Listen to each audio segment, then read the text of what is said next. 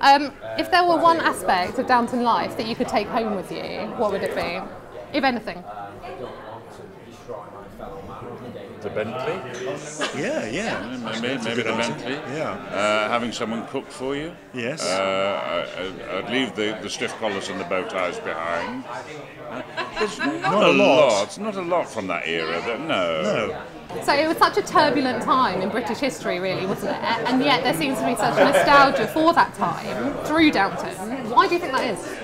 Well, D- Downton's a very romantic view, you know, and, and uh, they're very, very benign employers, the, the Granthams, uh, Crawleys, or whatever. What do they call? And six years I never knew what they were called. The Grantham Crawleys? Make feel up like your mind. the Granthams. The Granthams, I would yeah. say. Yeah. I'm an expert. Um, so, uh, so you know, it, it's a very, as you say, it was a turbulent time after the war, the Spanish flu. We're coming up to the general strike and everything, and, and here we are, all sunlit and lovely and benign. So, but this.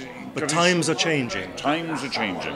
One of the final lines is uh, life is going to be different. Um, yet it is, but we'll manage. And uh, it's about people coping, but it's it's also it's about love, isn't it? Really. So it's about romance. And family. and, and love and family, and uh, shown in a very romantic light. You know, I can see you going soppy. Oh, yeah. you know, I just You're a genuinely love Downton. I am. I am. Um, I mean, both of your characters are very dedicated to the family as a whole, and there is such, particularly I think in Molesley at the beginning, where he's very um, affected by his circumstances and yet genuinely loves his job.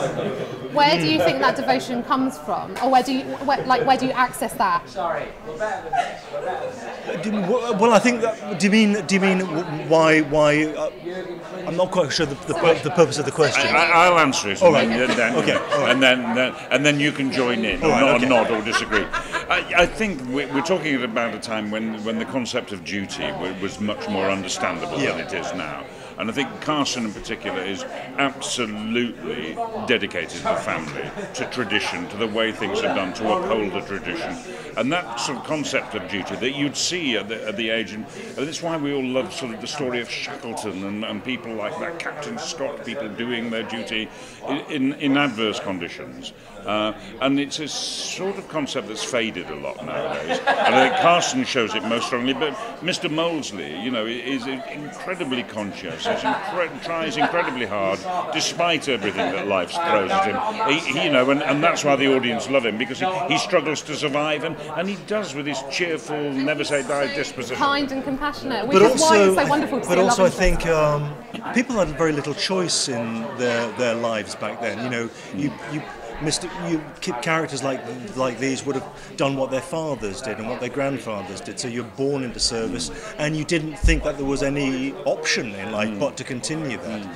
But and and yet, towards the last couple of series of Downton, we're seeing that the world is changing and that not, not and that's not only for upstairs but downstairs Oh, staff as well are beginning learning. to see that there are perhaps other opportunities on the horizon yeah I mean, as a character who is so reluctant to change, really, more so than anyone else, Mm. I reckon, how do you think Carson's going to adjust to hopefully married life? Uh, yeah, slowly, really, but but with the help of Mrs. Hughes, he will, you know, because uh, he he resists change, but he, you know, he's ultimately he's pragmatic and he goes with it, and she helps she helps him along, you know, in, in her affectionate, understanding, slightly acerbic way. Uh, they, they'll survive. Um, yeah, I'm sure they will. I'm sure they'll thrive. thrive. Thrive, I'd say so.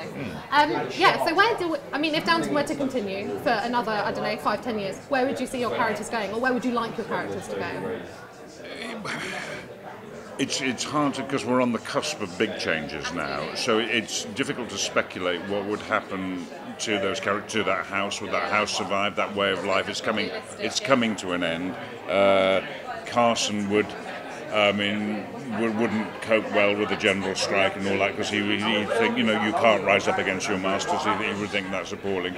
Difficult to speculate, really. That's why. Thank Presum- God it's finished. presumably at some point i mean I, I guess these characters are looked after you know when they get older i, I guess they're looked after are they they retire given a to cottage on the, on the estate, you know, but, but if the family has to sell up, You know, as I Yeah. saw with Mr. Mason, what happens to them then? Yeah. There's no welfare state, there's no safety net. No.